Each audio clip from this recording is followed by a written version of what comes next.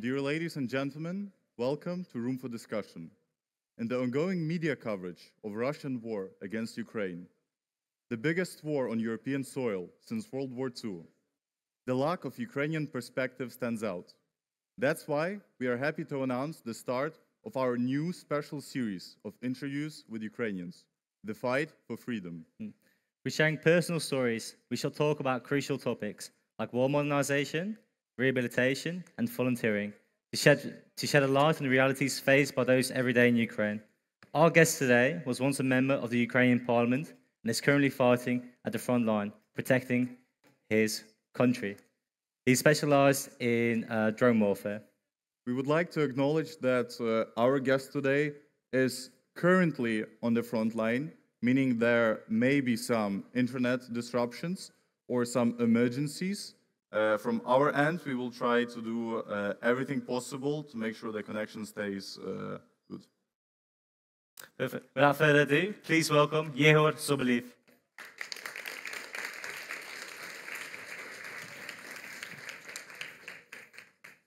Hello, Yehor. Can you hear us? Hello. I can hear you. I can see you.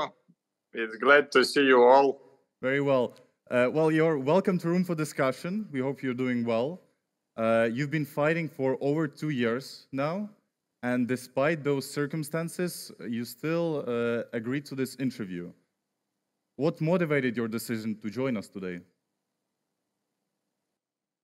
Uh, first, uh, I don't think uh, this is only a Ukrainian war. I think this is part of much more biggest and much more dangerous uh, conflicts uh, between uh, free countries and undemocratic countries. Uh, second, I think this is a very hard, but in the same time, a very important thing to fight what we are fighting for here. And I'd like to share uh, my thoughts, my feelings, my experience uh, with you, Yoth, uh, because uh, soon uh, the planet will be in your hands. Hmm. So before the invasion, you had quite a varied career journalism, uh, IT, also in politics. Can you maybe tell us about your role to becoming a Ukrainian, to becoming a member of the Ukrainian Parliament? Well, uh, before that, uh, I used to be a journalist for 17 years, and uh, it was uh, a time of presidency of Mr. Yanukovych, who was a gangster in his past, who was a pro-Russian leader, and uh, he was a great corruptioner. Uh, it was uh, 2010, 2013, uh, and uh, at the moment, I felt as a journalist uh, that I am absolutely inefficient. we, as an investigative team, at the time discovered a lot of uh, big uh, corruption schemes, but uh, nothing happened after that. And that was the biggest motivation for me to join politics, to become a political activist. I organized with my friends uh, quite revolutionary uh, organization, civic organization, and we were among uh, initiators uh, of so-called Euromaidan, uh, when, by the way, Yoth uh, has played an important, extremely important role, especially in the first period. Um, so after that, uh, we called it in Ukraine a revolution of dignity, and Yanukovych fled to Moscow and we uh, won our freedom. Uh, we won our European choice. Uh, and for me, it uh, was logically uh, to run uh, for the office, and I was elected in 2014. And in the parliament, I was elected as the chair of our anti-corruption uh, committee because of my previous uh, job as an investigative journalist who was strongly against corruption. And uh, can you perhaps reflect on why Ukrainians wanted those closer ties with Europe? Because a lot of sacrifices were made in that revolution.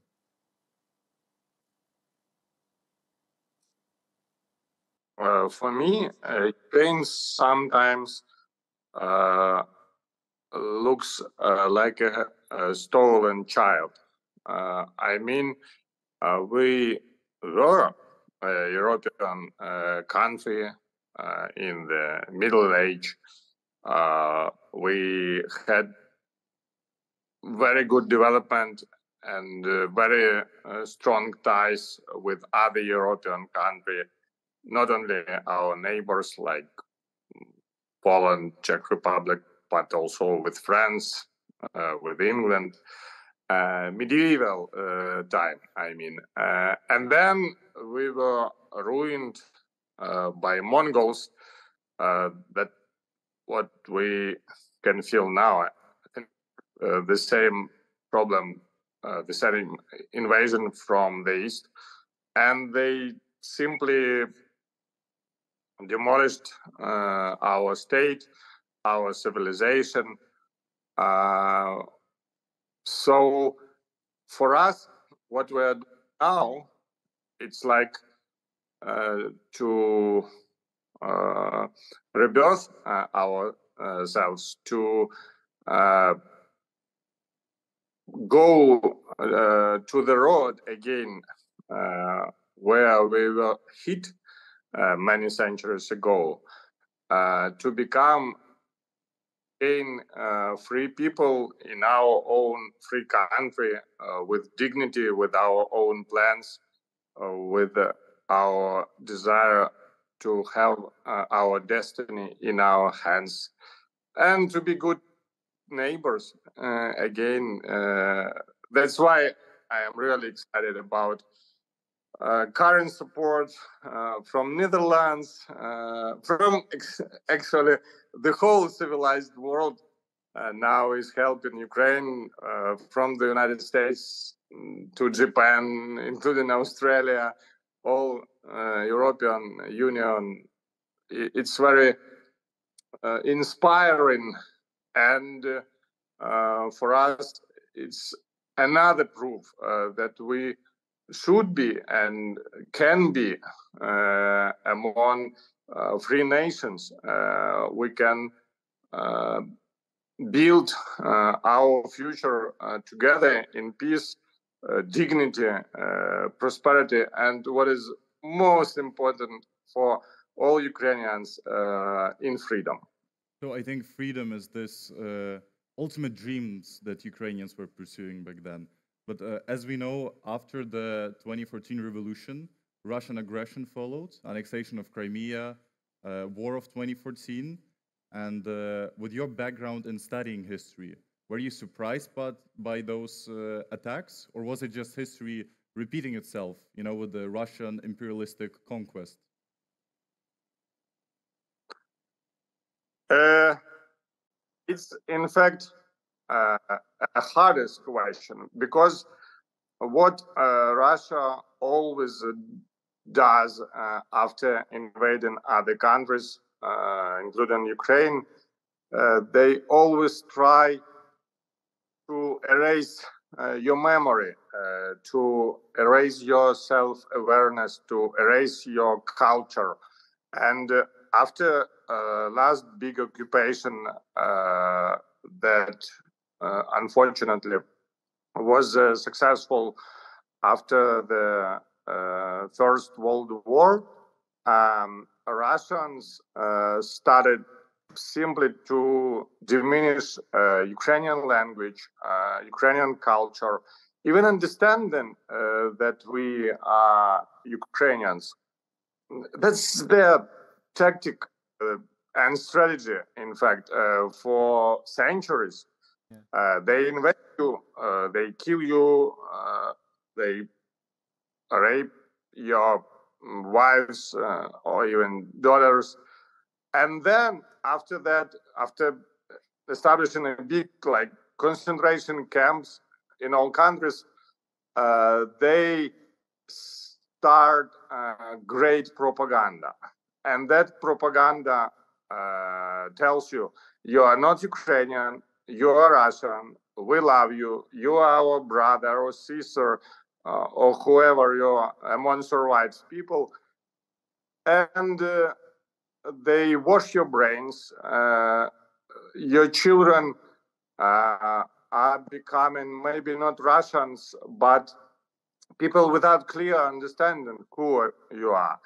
Uh, your great children can even think they are Russians, and uh, they send uh, this uh, new generation uh, to invade other countries. That's the whole tactic again and strategy for the whole Russian um, history. I, I mentioned Mongols.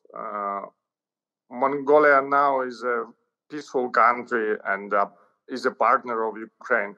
But unfortunately, uh, Russia as empire, as an aggressive state, inherited uh, these old tactics from all these times when they invaded other nations and sent them to invade other nations uh, under their uh, management. And that's what Russia doing now here in Ukraine. We uh, met uh, on frontline people from our occupied territories, uh, from Crimea, from Donetsk, even from Kherson and Zaporizhia, uh, part of uh, these regions are under occupation, and uh, they simply forced our people to fight with us. they ordered them to go and to fight or to be killed. Uh, without any uh, chance to survive. Uh, and unfortunately, this tactic is quite efficient. It, it is, of course, bloody uh, and human, but it is efficient. And that's what we now are trying to explain to other people in, in Ukraine and in other nations uh, who maybe don't understand uh, this uh, danger uh, properly. If Ukraine uh, is defeated, then Ukrainians uh, will be mobilized uh, by force uh, by Russian government to invade Poland. Uh, we are friends uh, with Poland now. We, we, are very good friends. We are brothers like with the Baltic states. And occupied Ukraine will be mobilized and sent to invade these good neighbors, good brothers, good partners now. Yeah. Uh, so yeah. we are fighting here not only for our freedom, but uh, for preventing such uh, new wars uh, in the future. Mm-hmm. So, to briefly touch on what you mentioned, that historically speaking, the Ukrainian culture, the Ukrainian people have always been suppressed, like hundreds of years, especially during Stalin.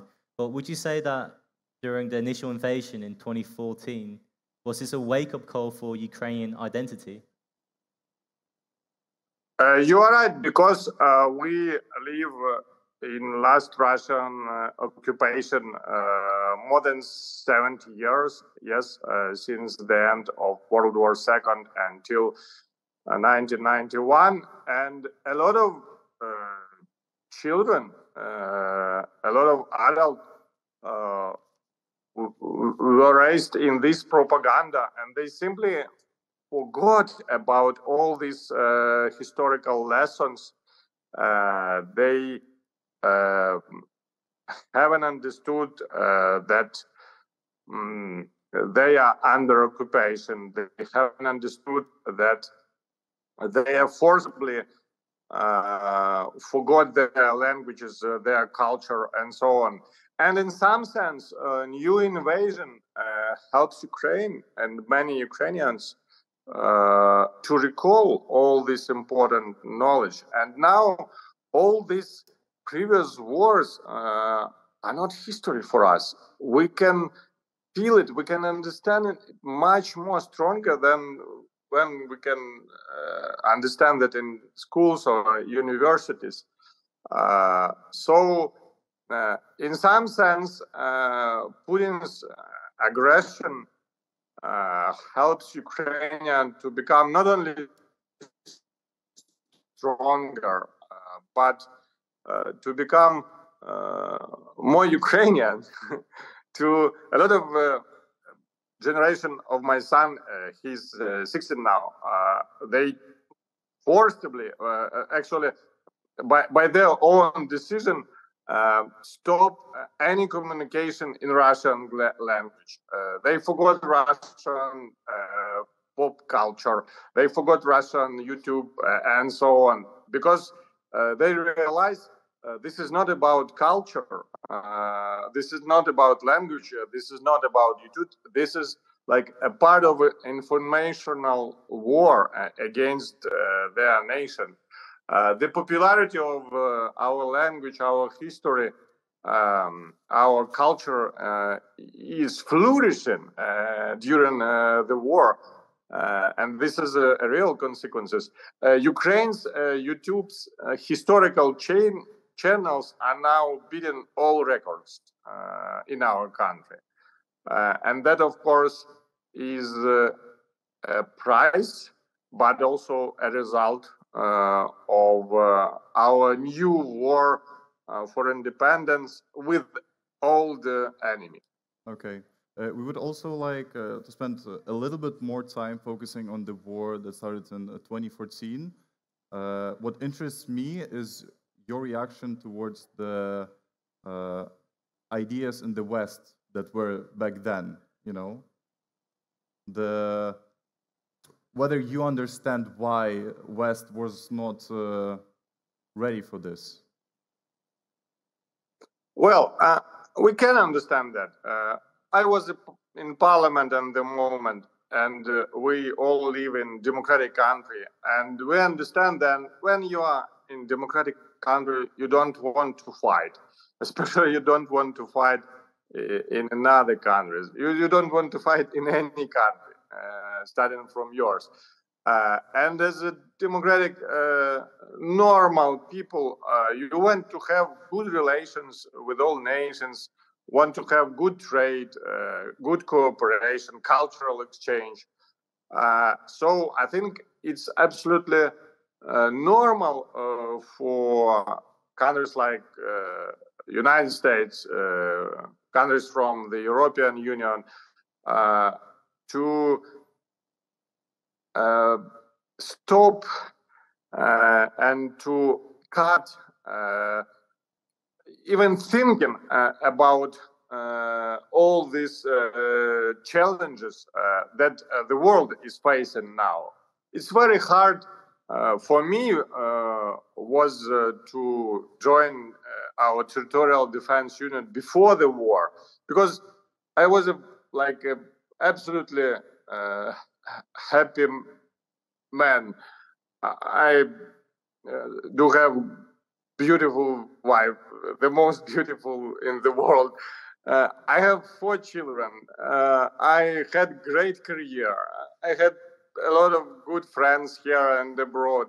I was absolutely a happy person. Uh, and then uh, you should realize no, it's time to fight, it's time to defend what you love uh, and what you uh, trust in. And uh, you, you should start to train you uh, with machine gun now with drones. you should risk your life, you should lose your friends and it's absolutely a great and normal challenge for every normal person uh, in democratic country and in democratic uh, world uh, in whole so i think this slow mm, maybe not responsible reaction from uh, the united states from european uh, union uh, at the beginning was like a logical re- relation, uh, a re- reaction from uh, democratic countries.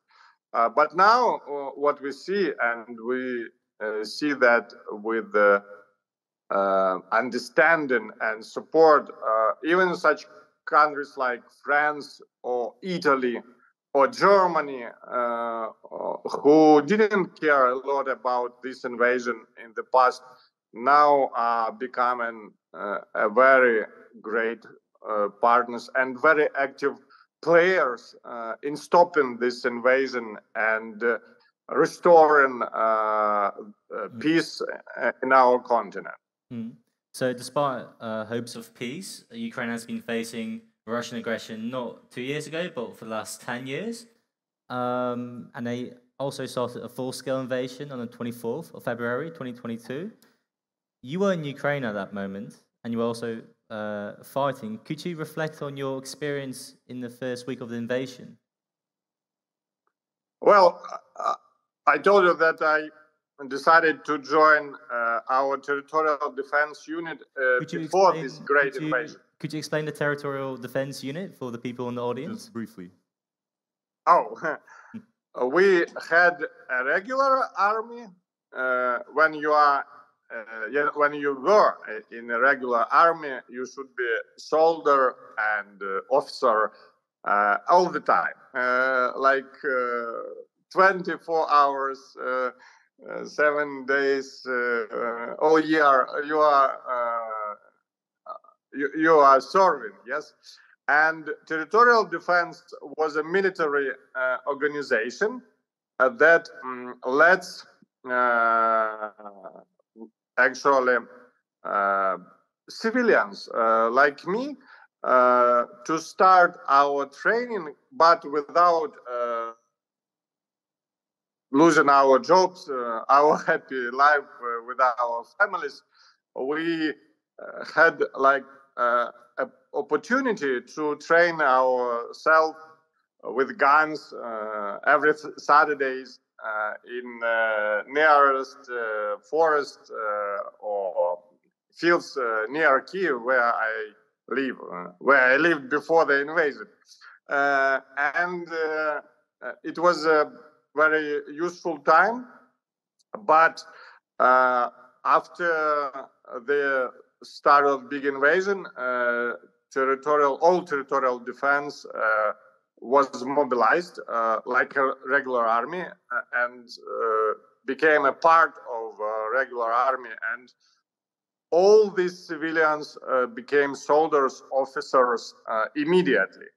Uh, in the first day of this invasion great invasion from russia we were gathered in the place that was actually um, defined before. Uh, that was a good result of our trainings, of our self-organization, uh, and we had guns, uh, we had uniform, uh, we had orders. My first uh, order was to uh, prevent possible paratroopers uh, attacked uh, on Zhuliany airport. Uh, this is Kiev airport, and it was very important to stop Russians to land in Kiev near the center. that was their plan. and my second mission was to stop Russia mm, army from Bucha. Uh, Bucha is now quite unfortunately known place uh, for uh, bloody killings, rapes, and other tortures uh, than Russian uh, did there. But at the moment, it was uh, the place uh, where we stopped them. my second position was on bridge between Bucha, that was under Russian occupation, and uh, Irpin, uh, a small city uh, that uh, is located uh, from on western part uh, from Kiev, and is a very important place and position to defend to to stop um, Russians there because if they took Irpin, they could shell the whole city, the whole capital uh, where was my wife and uh, other civilians uh, with their ugly bombardments. that's the, another tactic simply to um, sell everything uh, what they can. Uh, and uh, we managed that. Uh, we stopped them in Irpin. Uh, we stopped them on that bridge. And I was fighting there till the victory in Kiev battle when the two Russian armies were defeated and withdrawn from Kiev region. Mm-hmm. so that was my first two missions. Okay, but uh, a lot of people were giving Ukraine uh, a matter of three days to fall. Yet here we are in the third year of this war. Uh, in your view, uh, how did Ukraine manage to withstand those initial days of invasion? Uh, first, uh, Ukrainians have resistance uh, in blood uh, because we were uh, suppressed by Russians many times in our history, and we maybe even uh, not aware of that, but we feel that that this is a very huge obligation of every person to fight for our freedom, uh, because in occupation all our uh, lives uh, will be broken and uh, demolished, and all our relatives, our close um, person will be in great danger. So millions of Ukrainians uh, uh, joined uh, the army in the first week,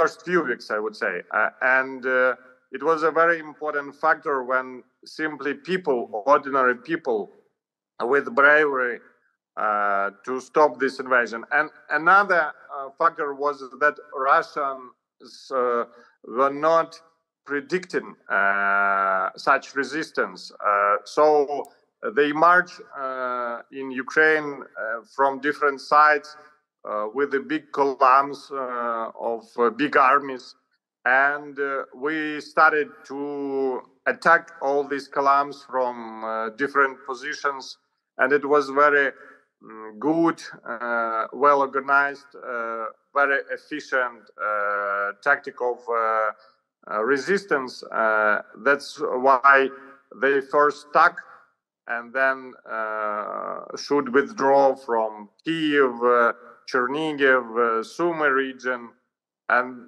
th- that's how we um, actually uh, won our first, maybe most important uh, battle in that war. Thank you. Uh, and obviously, you've been fighting for over two years now. As you look back on that time, uh, do you perceive it as a disconnected sequence of events, or does it form a clear story in your mind?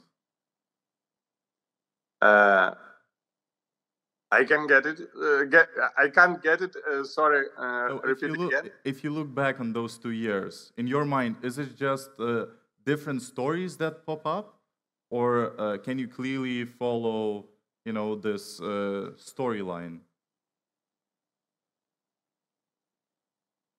Ooh. I think every soldier wants to wake up and to realize that it was simply a nightmare and everything is fine. We are in a peace uh, country, everything is alive, and uh, tomorrow is bright uh, and safe for us. Uh, but it isn't. Um, all of us uh, was in a very dangerous uh, situations uh, and the greatest danger, uh, and uh, many of us already dead.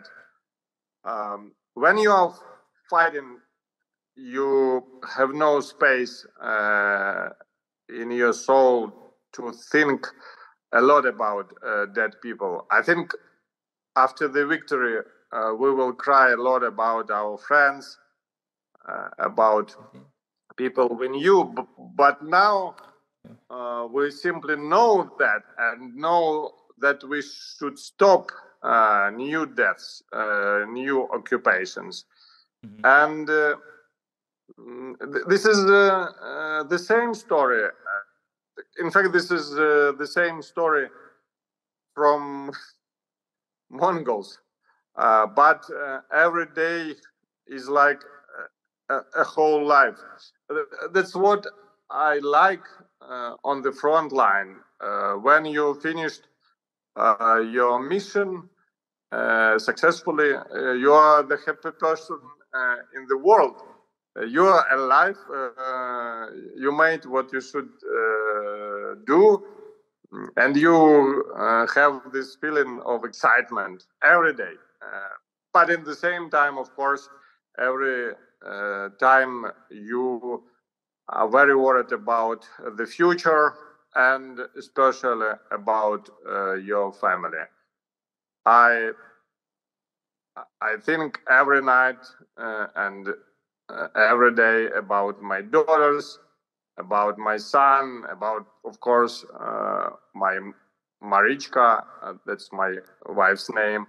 Uh, I love them, and uh, they are under, as millions of Ukrainians are under this uh, continuous rockets attacks, uh, drones attacks. So this is the dark part of our current life of all of us. Okay, so we've covered quite a lot the history, the invasion. But where are you at the moment? I see a flag behind you. You're at the front line. Can you tell us where you are and what you're currently doing? Uh, well, uh, now I'm now I'm an officer. Uh, I started uh, a war, the, the war as a private, uh, and now I'm an officer, and I run a special uh, force team on Zaporizhia front line. Uh, we uh, um, have a very great team of pilots, uh, UAV pilots. Uh, this is our main weapon. Last year, we destroyed like a regiment of uh, Russians uh, by our uh, UAVs and uh, lost only one uh, person. Uh, few pilots also were wounded, uh, but fortunately, all of them alive. Actually, also we do have a very good uh, snipers uh, team and uh, electronic warfare team. We are on the Zaporizhia front line. We are very active, quite efficient, and do what we can do uh, to bring uh, the victory to all uh, our people. And how big is a regiment? You, you mentioned that you destroyed a regiment. What do I have to have in mind? Uh, yes, because uh, drones uh, help you not only uh, to attack, but to um, uh, like uh, confer uh, results uh, of uh, your at- attacks. Uh, because every drone uh, has a camera, some of them a very good one. So we understand. Very well that we last year destroyed uh, 75 uh, Russian tanks and armored machines, uh, 15 pieces of artillery, and so on. And this is uh, the uh, weapon for the whole regiment. But uh, how many people? what we are doing, uh, we uh, first at the moment, uh, uh, uh, at the moment we uh, start usually our day with reconnaissance flight. Uh, this is a, a small, good planes uh, with good cameras. Uh, they photos all uh, areas that are interested uh, us. Uh, then we send uh, our kamikaze uh, drones uh, for to attack all we found on our land from uh, the aggressor, and then uh, at the at night uh, we bombed them uh, from uh, UAV bombers, uh, night bombers with big uh, avia bomb. Uh, this uh, this uh, night we destroyed in uh, one big uh, mortar and two other important positions of Russians using these night bombers. but just to clarify, regiment, how many people is in one? Uh, well, actually,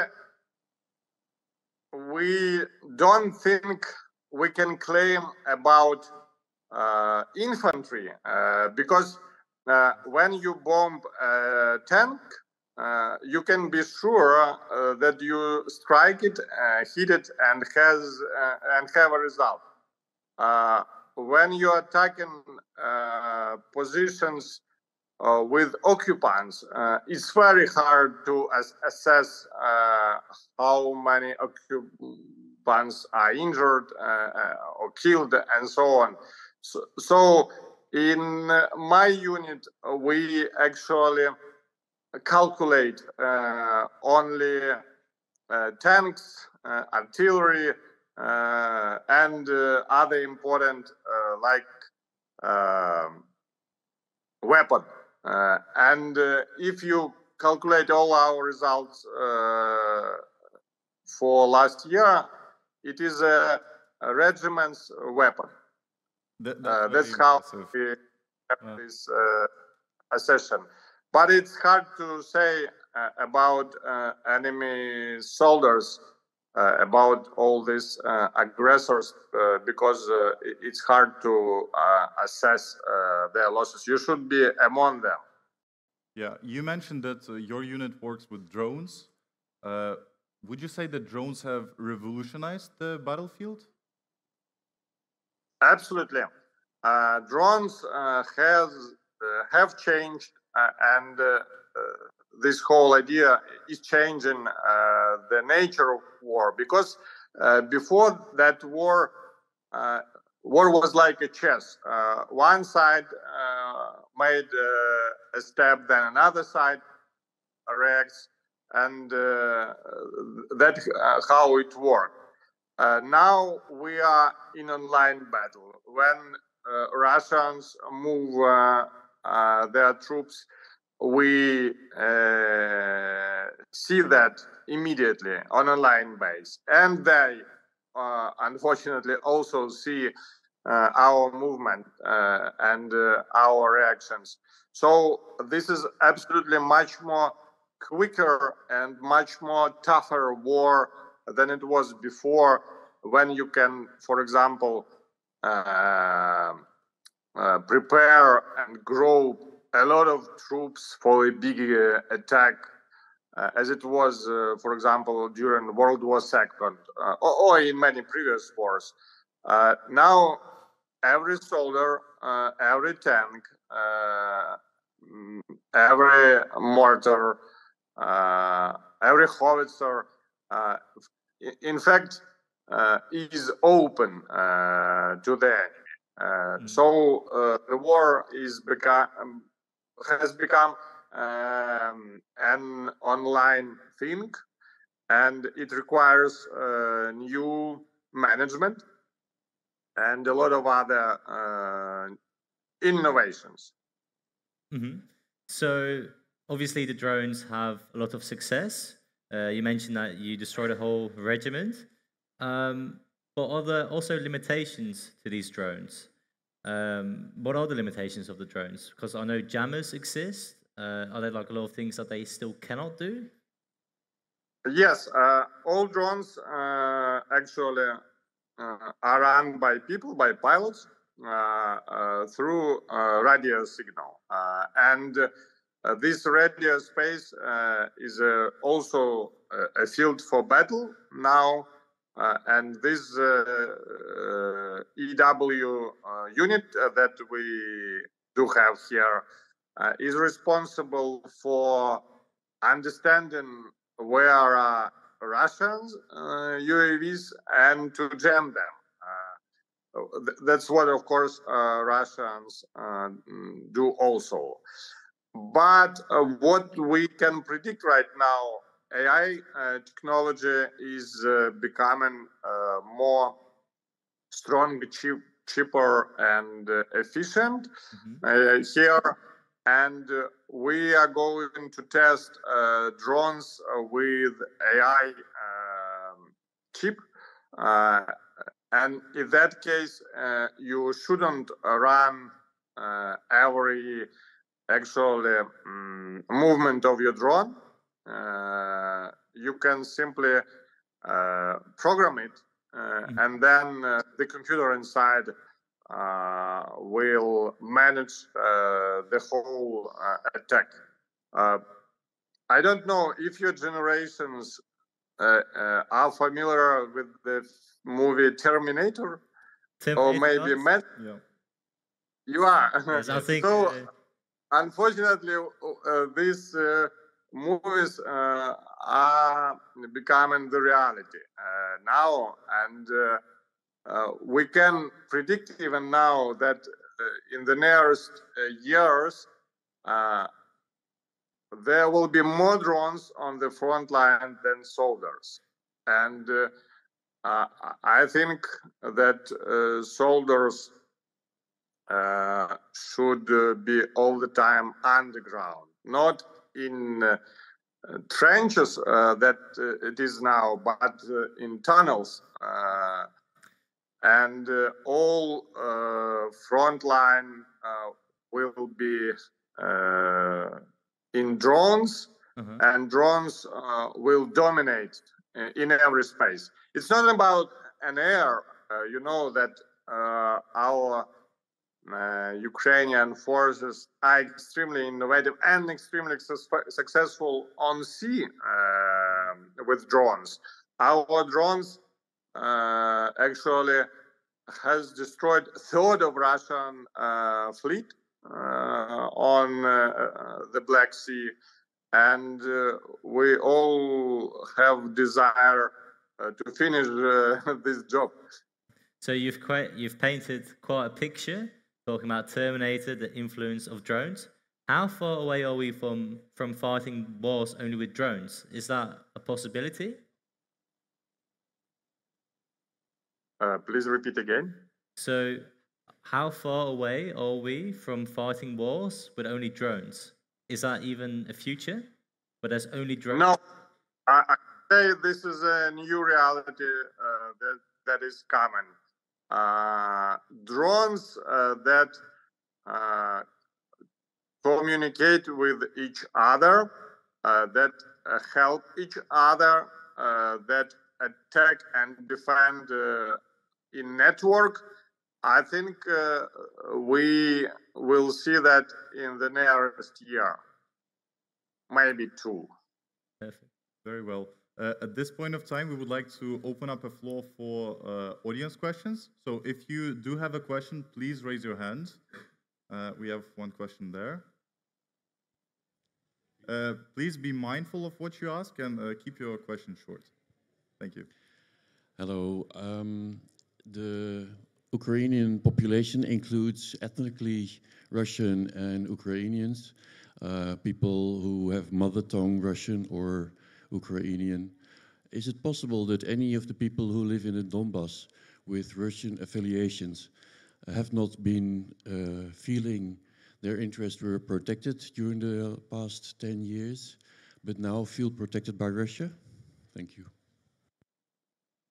Uh, unfortunately, there was an echo, like in the auditory. Can you repeat this question for me using your microphones? Apart Uh, I think Ah. Yes. Uh, Would you like to? yeah. Could you this for So he was basically aiming that in Ukraine there are a lot of people that speak Russian, mainly like the Donbass region, Donetsk, Luhansk, and he was kind of aiming at the idea that they kind of feel protected now by the Russian army. Yes. Yeah. Yeah, so in the pa- in the last 10 years, there's been quite a lot of Russian aggression, and Russia was there in the Donbass region, uh, protecting the interests of those people. Uh, and the question is, was Ukraine not protecting the interests of those people well enough? well, uh, that's what I love in, in Ukraine, uh, in our culture, in our mentality. Uh, we simply um, have no borders. Uh, we cooperate and already are open to every culture. Uh, my uh, a lot of my friends um, actually were uh, Russian speaking. Uh, now, as I said, the situation is changing, but because of Russian invasion, because uh, for children, for adult people, it's unpleasant to talk uh, Russian when you are under Russian bombs and rockets. Uh, that's like a psycholo- psychological factor. But a lot of Ukrainians were Russian speaking. Uh, of course, the reason for that is previous occupations uh, when uh, Ukrainian language, uh, Ukrainian education, education in Ukrainian, Uh, Ukrainian songs, uh, Ukrainian books uh, were prohibited. Th- that's why we do have a lot of Russian-speaking people, but it wasn't and it isn't a, a problem in Ukraine. You can be from any country. Uh, you can be uh, with any culture inside, and we are uh, ready to be together. the different religions here. There are a lot of different nations. Uh, our president uh, is a Jew, actually. Uh, we we we have no mm, difference uh, based on uh, what you are come came from and what is your mm, uh, past. Uh, what we want to have among us is uh, freedom. this is absolutely uh, corner concept for Ukraine, and having this freedom maybe your respect to other people. That's what we want from uh, us and from uh, other nations. And that's that's it uh, nothing else uh, well i think uh, half uh, of my unit was russian speaking before the invasion and no problems with that. Thank you. Uh, do we have any more questions? Yes, I see a hand there in the back. Can you repeat it again, right? Yeah. Um, yes, uh, thank you so much for speaking to us. Um, I was wondering if you have any time frame in your head about where the war is going, if you picture some kind of ending when it comes to time, or if you more go just day by day, and you cannot think about when the war is going to end or is when you can go back to your family. If you if time is something that you can predict or want to predict in your head or if you just go day by day. I've heard only echo sorry uh, yes Tadej, uh, can you repeat so, it uh, for me if you think about the ending of a war, uh, do you have some sort of uh, time in your mind how soon it may be, or do you just go? Sorry, uh, the connection yeah. is bad. Uh, Can you can't hear you. Can you hear me? Yes. Can you hear us? One minute. Yeah.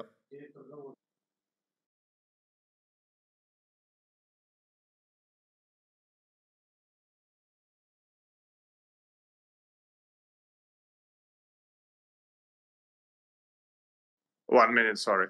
Yeah. Yes, please, please. Uh, can you repeat again? Yeah, so I can see you now. yeah, obviously you engage in this war, and uh, in your mind, do you have some sort of uh, time frame how long this will last, or do you just go day by day? Um. Uh,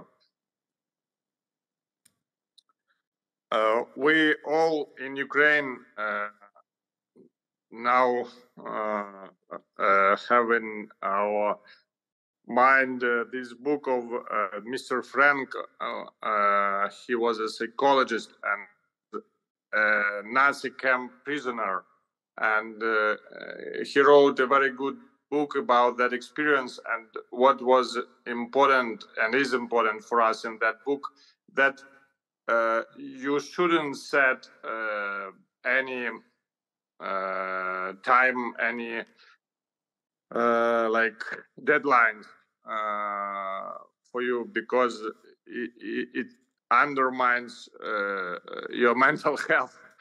Um, again, uh, every day, uh, all of us uh, uh, dreams about uh, victory and peace uh, and normal life. But as a soldier, as a commander, as an officer, as a citizen, uh, I prepare myself uh, for a long uh, uh, road to that victory. Uh, maybe it takes years, uh, maybe it takes decades.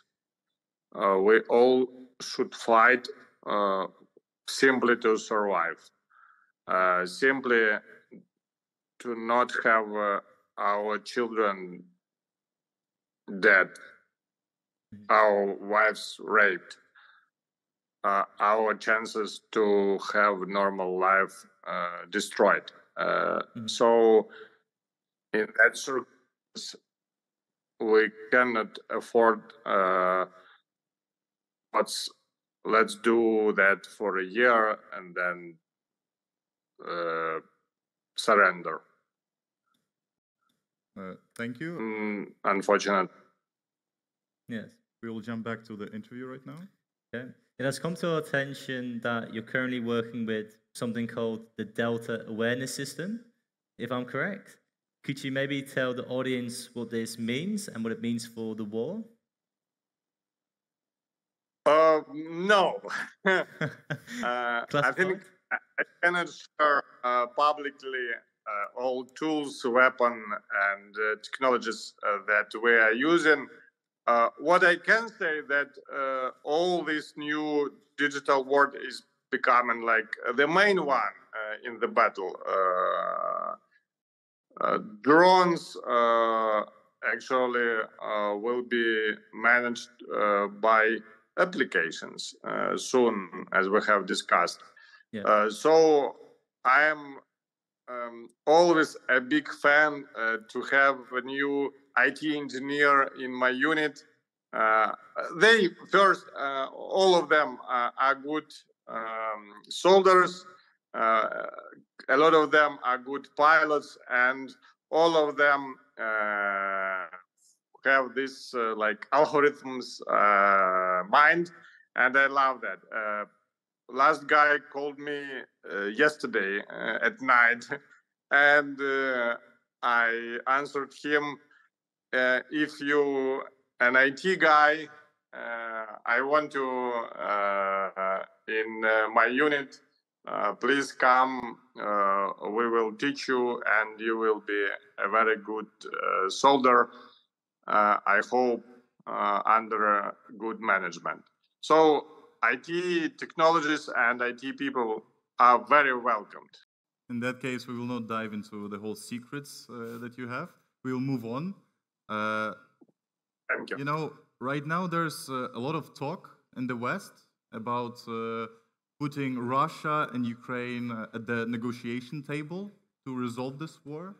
Uh, you, as a soldier on the front line who puts his life in risk, do you think uh, sustainable peace can be achieved through this means?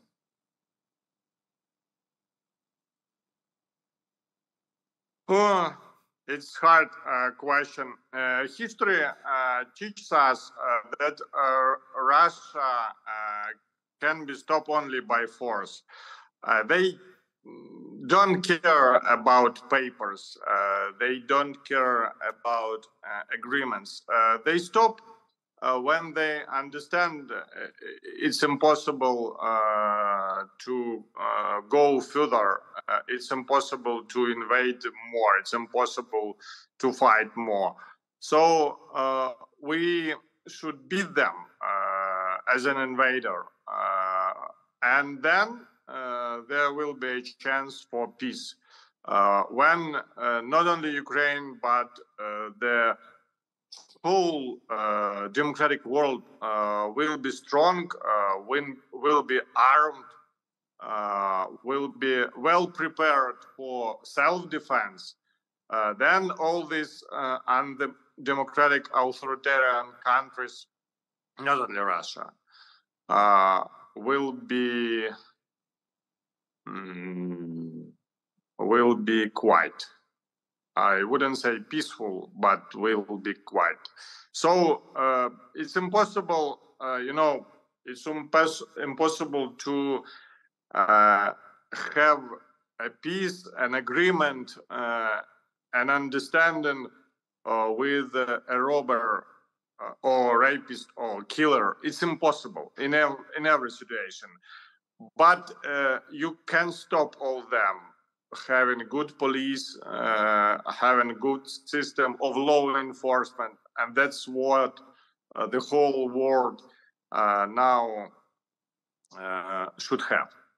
So, just to clarifying, freezing this conflict will not uh, resolve it. it. it. will only postpone uh, later attacks by Russia. we um, actually uh, had a so-called Minsk agreement uh, after their invasion in 2014, and a lot of countries, uh, including countries from uh, the European Union, uh, United States, uh, supported the agreement. And Russia simply used this time to build grand armies, to arm them, to prepare for the biggest invasion. again, invasion occupation other nations. That's uh, their history. Uh, that's what uh, makes unfortunately makes a lot of russians proud uh, of their country. Uh, they are not proud about and they couldn't uh, about their prosperity the level of democracy human rights respect.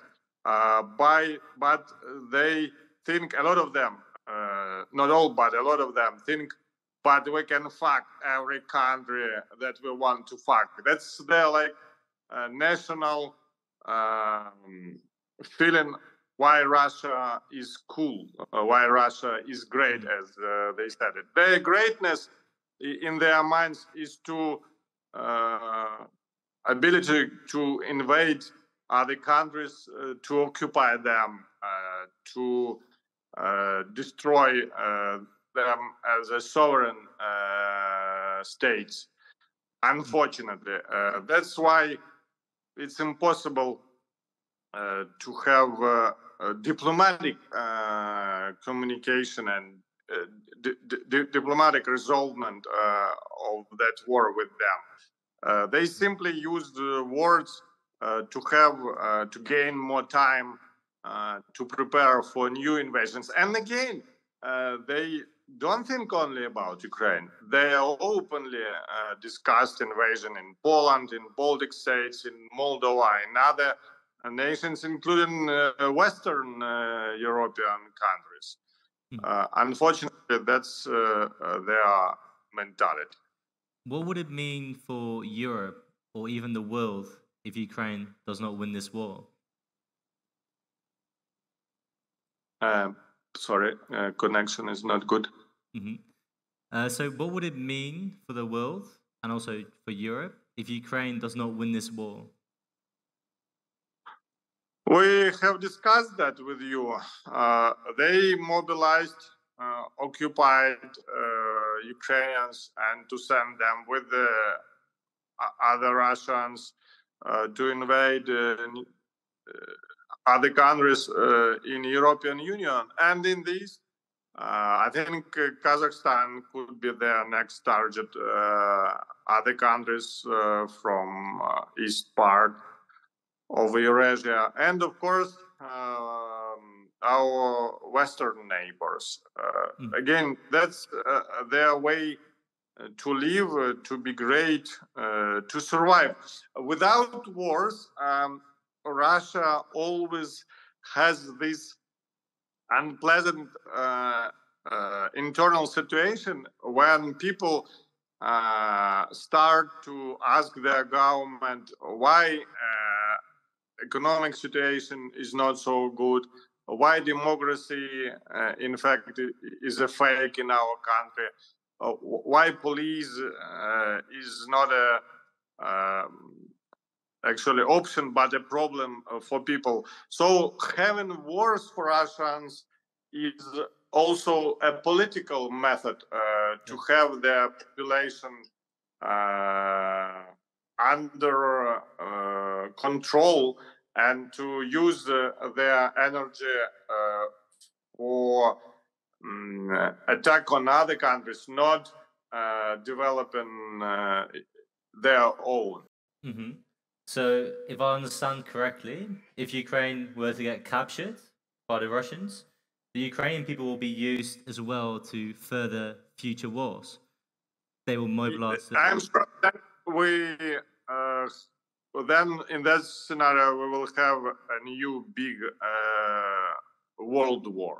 Mm-hmm. Uh, then uh, Russia, in, in few uh, years maybe, uh, uh, prepare itself and with the new occupied territories will attack the European Union and United States. So it is very important to prevent this from happening. Could a Ukrainian victory be possible if the support from the West diminishes?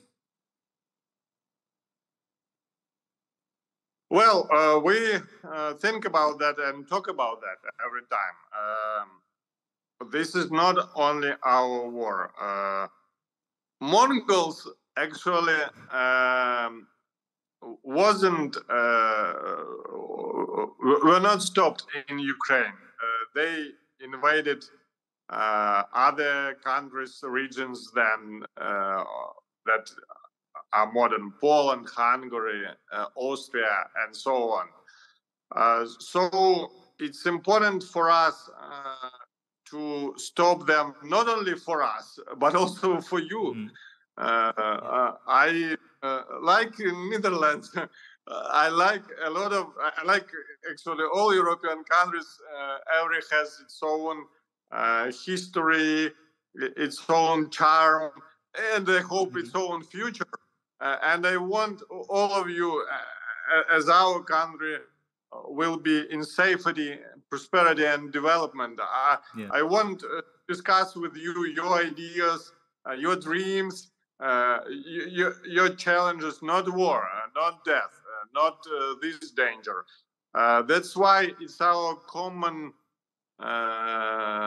obligation, I would say, duty to restore peace on our uh, uh, continent and to restore rules, uh, to restore a system uh, that uh, will defend uh, this peace. Because it's war about that, that Uni- United Nations simply have no power, have no opportunity. They were established. This organization was established under the after the World War Second, uh, and it is to prevent new wars.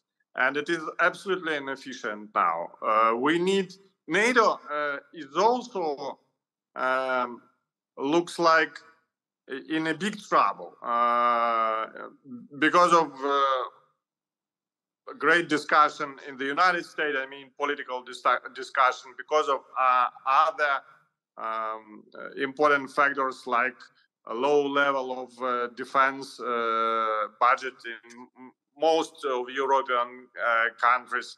Uh, European Union and United States are great projects, strong projects, famous institutions, and uh, spaces uh, for uh, normal life, but you're all in danger. it's not about only Russia. Russia has a company of other undemocratic uh, states uh, that support uh, this uh, aggression because uh, they want to use such methods uh, for their own goals in other regions, uh, in other countries. So, uh, international order and uh, our common future uh, are in danger now, and uh, that's why we don't need support. Maybe we need uh, common uh, work, a common plan to uh, succeed and uh, to have normal, interest and peaceful, uh, successful life for all of us, of us uh, in all countries uh, on the continent. You know, to wrap up this interview, uh, I think it's important to know that despite all the initial predictions, you know, the three days that were given to Ukraine, Ukraine has demonstrated uh, remarkable resilience. Ukraine is alive, Ukraine is free, Ukraine is fighting. As we conclude, what would be your final message to our audience today here in Amsterdam?